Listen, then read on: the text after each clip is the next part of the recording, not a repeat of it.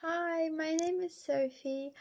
Um, I currently work as like a marketer, copywriter, which is really exciting.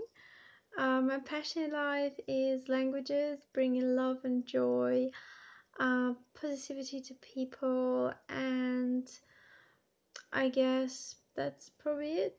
Um, the reason I came to do Life Works program is because I want to earn more results in my life, and I really want to do like a cool project.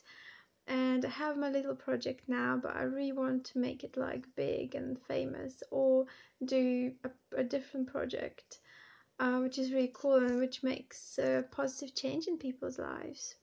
Uh, what I realized so far is that there are so many things I need to watch for, but generally is that it's an issue of confidence, and I came up with my four definitions, uh, which is uh, generosity, uh, warmth, power, and uh, confidence, which I'm trying to stick to.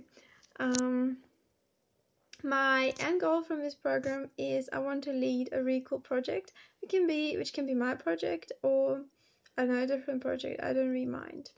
Thank you.